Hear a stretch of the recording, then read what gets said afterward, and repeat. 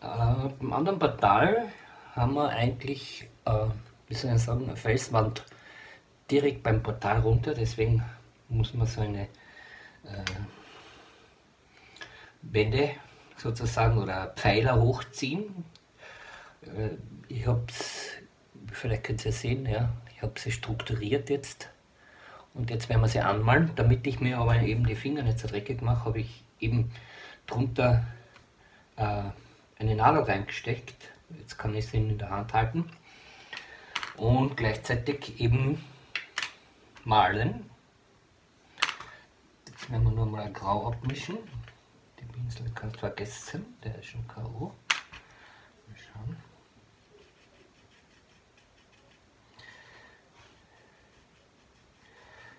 Also das ist jetzt nur die erste Farbgebung einmal, das Grau.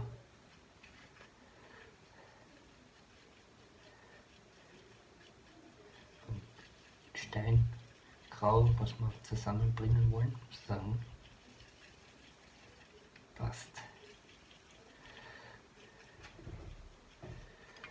Gut. Gut, und jetzt äh, gehen wir es an. Ich habe äh, deswegen drei, einfach eins zum Ersatz. Zwei brauche ich, aber eins habe ich gleich für Ersatz gemacht. So. Jetzt ist der Alex Ader. Warte, ich zeige das mit meinem vor. Gell? Die graue Farbe nehmen und schön anmalen. Gell? Ich da einfach nehmen? Ja, klar. Aber ich will tun noch ein bisschen mehr.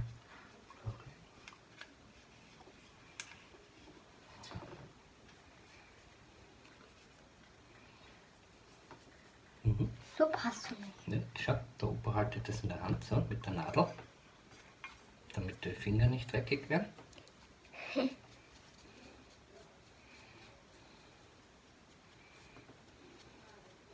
Und dann musst du auch schon schön, musst aufpassen, dass das nicht, du musst das so machen, damit das nicht kaputt wird, gell?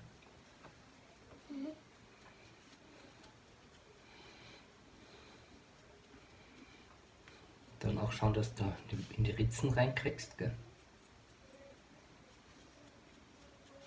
Deins ist ja schon fast da. Weißt du dann das so? Mhm. Okay. Hast du eine rote Nadel? Nein, blau. Okay. Nimmst du eine rote Nadel oder die? Du hast dir das, du tust dir das an. Kann ich auch drüber malen? Ja, du musst ja alles anmalen, ja? Außer hinten musst du nicht, aber wenn es machst, ist auch kein Problem. Oben auch ein bisschen. Unten war nicht notwendig.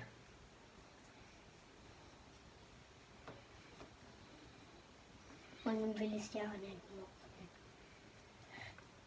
Das Problem, ich habe das gar kein Problem, ja. Ja, na geh. Passt. Ich bin gleich fertig, gell? Ja, tu nicht, solange du kannst, mach. Und sonst da gehst halt dann aufs WC, gell? Achtung. Okay. Ja, Jetzt tue ich da hin. gell? Mhm. Passt. Pass auf. Jetzt Pass passt. wieder auf, dass ihr nicht gerade seht. Ja. Jetzt muss man sie ins Wasser stellen. So, inzwischen mache ich weiter. Ja, unser kleiner Junge zwischendurch andere Probleme. Andere Sachen zu machen. Er ist noch nicht ganz, wie soll man sagen, konzentriert.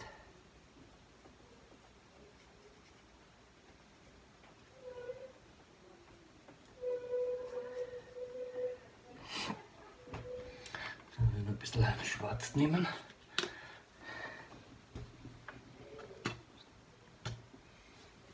Das war jetzt wieder zu viel. Das ist schwer bei diesen großen Tuben. Da, glaubt man, da kauft eine große Tun zum Sporen. Aber dann verwendet man einfach zu viel Farben. Aber man kauft diese große Tun, weil er so viel Farbe braucht. Passt. Ja. Entschuldigt, wahrscheinlich brabbel ich wieder. Dieses Kärntner Gebrabbel, das ist ja eine Katastrophe, gell? So, warte jetzt einmal.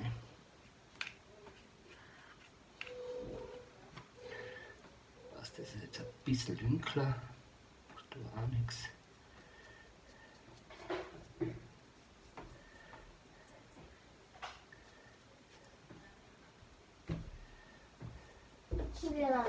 Bist wieder da? Juhe, jo heißer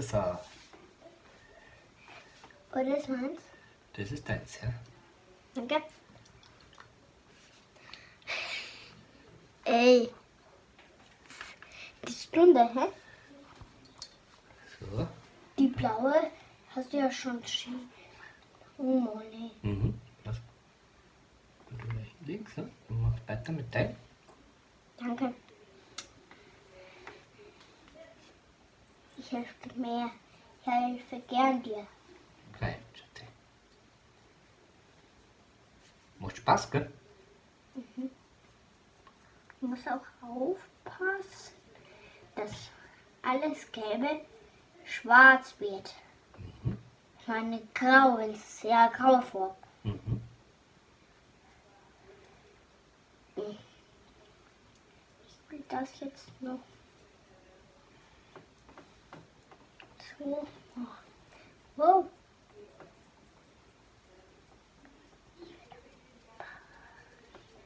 Nicht übersehen. Boah! Hm? Nein, du hast auch die Faser wirklich da. Nein, ich habe nur das so geweiht. Hast die angepatzt. Hehe. Opa, schau. Wo? Da. Ja, die, ja. Immer noch ein durch. Jetzt muss rechtzeitig runter. Dann waschen wir es oben, gell? Mhm. Ich gebe mein Bestes fürs Anmalen. Ich weiß, dass du dein Bestes gibst. Mehr braucht man auch nicht.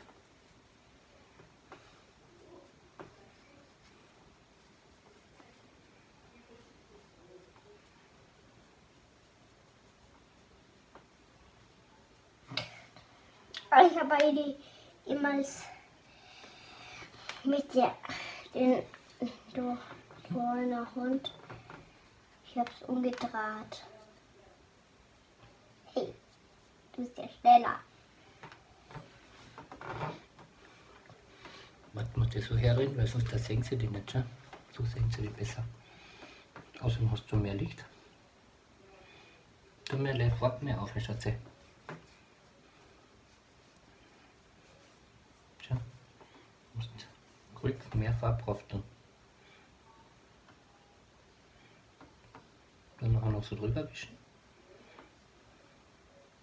Müssen wir auch noch drauf. Muss dir in der Arschwurz werden. Das da. Mhm. Und schön verteilen dann und schauen, dass die, Rill, die Rillen wieder rauskommen. Weißt?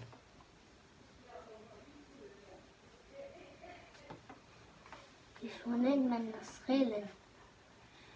Naja, das ist dort, wo die Steine aneinander kommen, ist eine Rille. Ne? Eine Ritze.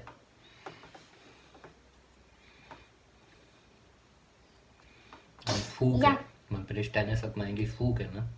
Aber jetzt da bei dem Kleinen, also muss man es festhalten. Wolltest du? Dass das nicht nachgibt, siehst Nee, meins. Dann jetzt eher Wo? so, schau. Jetzt tust du nach, schau. So dass man die Und das, dass man das nehmen sieht? Ja, hör auf. Jetzt tust du so schön in den, den Fugen entlang, Bitte. den Fugen entlang, schau. Und dann kommen die Fugen raus. Siehst du das? Mhm. Einmal in der Mitte, damit die Mittelfugen rauskommen. Und dann, da, da müssen wir auch noch, ja, hast recht. Und da müssen wir auch noch, schau. Da machen wir auch so, schau. Dann kommen auch die Fugen schön raus. Was sind ähm, Fugen sind ja, du meinst diese Rinde da. Regeln, ja, genau. Da müssen wir auch noch sauber machen. Sehr schöne Vogel. Mhm.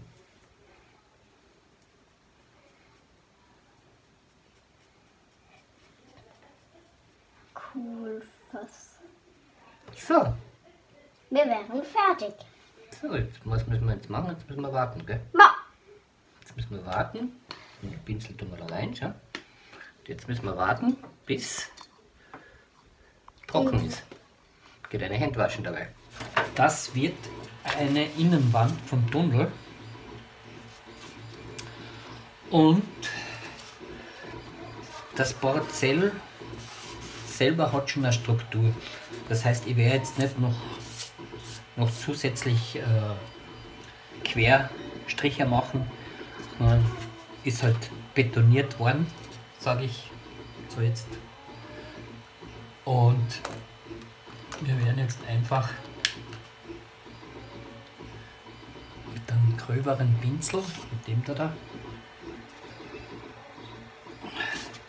das schön grau machen, dass das ausschaut wie eine Betonwand. Und ein bisschen später im Video seht ihr dann, wo das hineinkommt, also wie das in den Tunnel hineinkommt. Das ist jetzt nur mal ein Teil. Das Borazell hat eben nur eine Länge von 79 cm gehabt. Jetzt habe ich einmal eine Länge von 79 cm gemacht. Das ist in Wirklichkeit ist, äh, 1,19 Meter, das ich weiß, ja.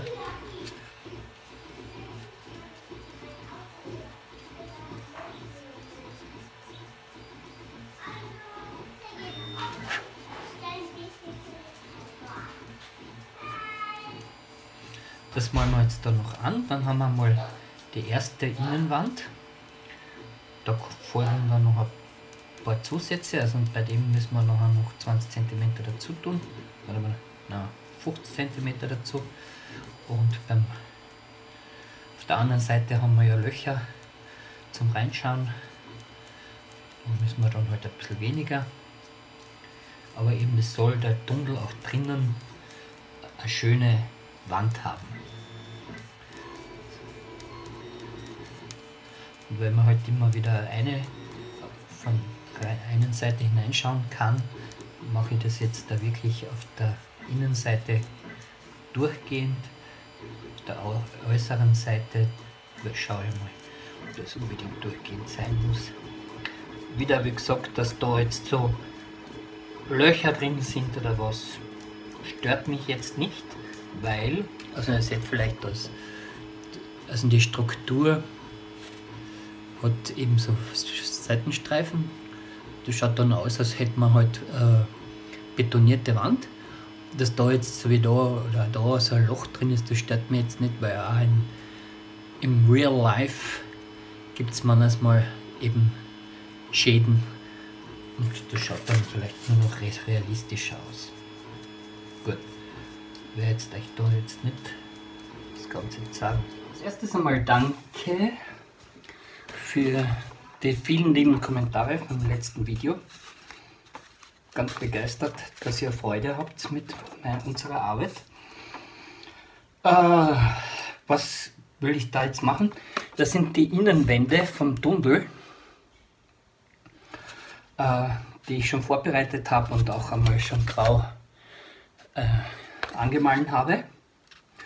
Und die werden wir jetzt noch ein bisschen präparieren, in dem Sinn, dass wir schauen, äh, Wasserflecken, ein bisschen Rostflecken. Ich habe jetzt dafür eben genommen, habe da das Weiß. Das Weiß werden wir da mal auf, darauf rausgeben. So. Und das ist so ein äh, braunes äh, Pulver, Old Rust, extra für Modellbau. Ich muss zugeben, da habe ich noch keine Erfahrung. Wie ich das da machen werde, weiß ich noch nicht. Oft ist ja, sind, ist ja auch etwas, äh, wie soll ich sagen, Eisen drinnen.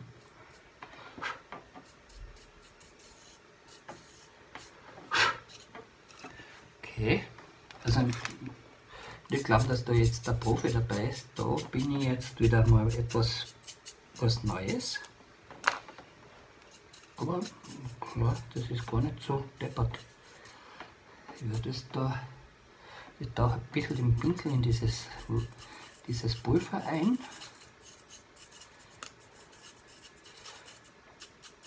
Gut, und mache dann einmal ein paar braune Flecken, weil ich dann jedes das ein bisschen wieder versuche runterzuholen. So haben wir einmal braune Flecken. Da habe ich noch Pulver, das verwende ich wieder.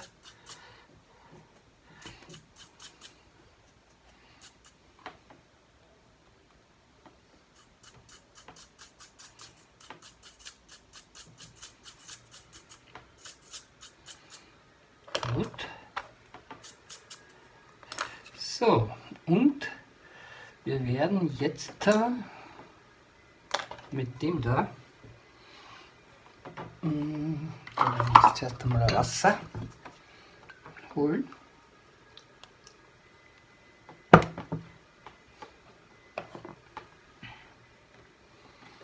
Da hergeben. Ein bisschen weiß. Aha, da kriegen wir schwarz ein bisschen drauf. Oh, steht da gar nicht, kommt mir vor. Und da, das ist das obere, okay. Wir haben so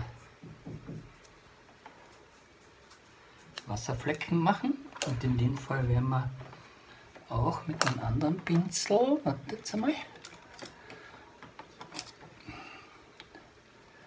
ja, mit dem da, ein bisschen verteilen.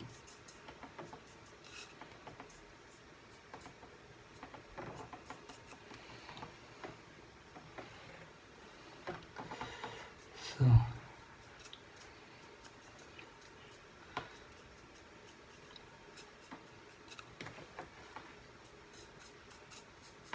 Gut. Ich glaube, man sieht eh am Video schön, wie das jetzt ausschaut. Da wäre ich jetzt da aber noch einmal ganz vorsichtig.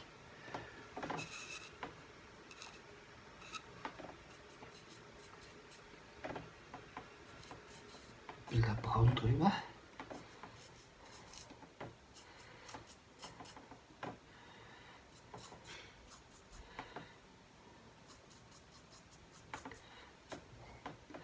Gut, und jetzt dann noch ein bisschen Resteres. Nicht so flüssig, damit man das auch ein bisschen sieht. Ja.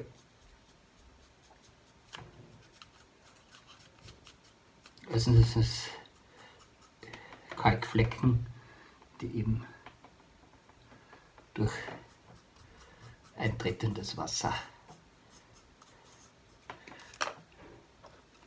sein soll. Okay, dann machen wir ein bisschen nass wieder, wenn es zu stark wird. Passt.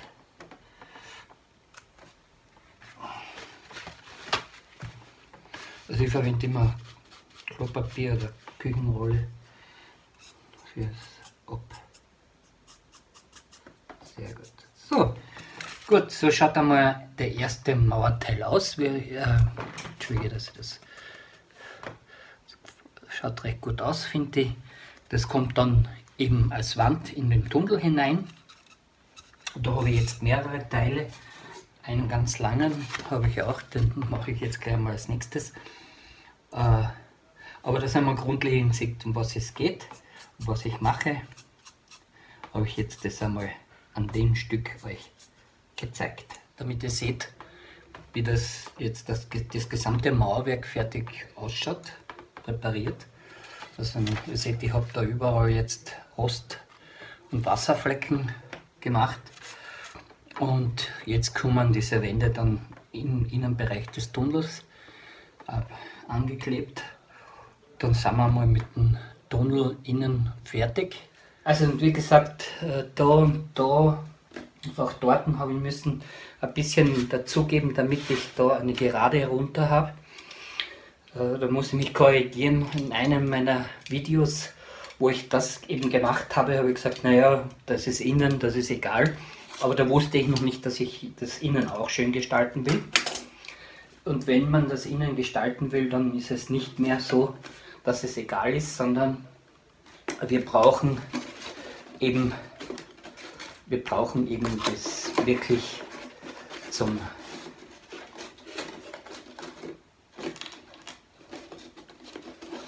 schön, damit wir eben das dann auch da wirklich eine Gerade hinunter haben.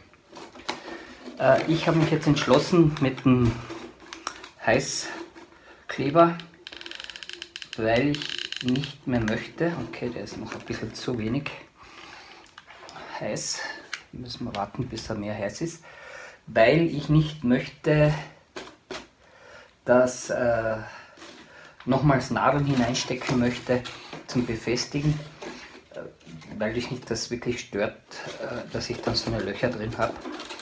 Und mit dem Heißkleber, okay, da braucht man keine Nadel, der klebt dann wirklich gleich.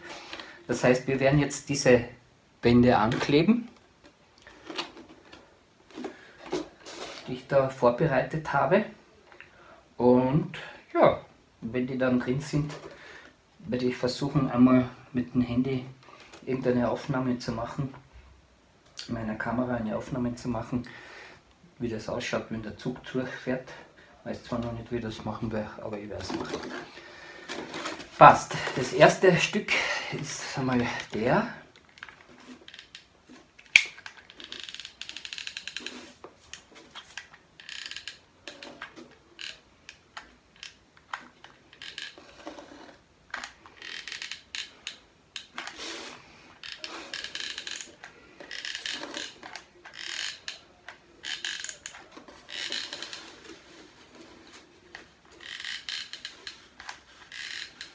In dem Fall muss eben der Heißkleber sehr heiß sein, damit er eben auch nach der, wenn man länger braucht, so wie jetzt da, zum einen, dass er trotzdem noch klebt. Und trotzdem noch sagen wir so auch verformbar ist, weil wenn man dann das dazu drückt, sollte sie ein bisschen flacher werden.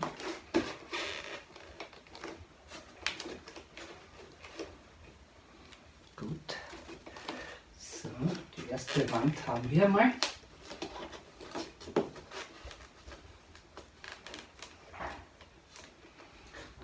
Was reinspritzen. Fertiger aus. Wir brauchen was haben. Dann werden wir das reingeben.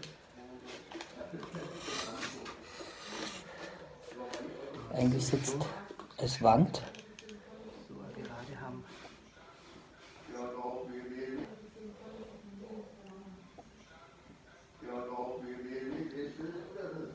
Damit ihr euch das ein bisschen vorstellen könnt.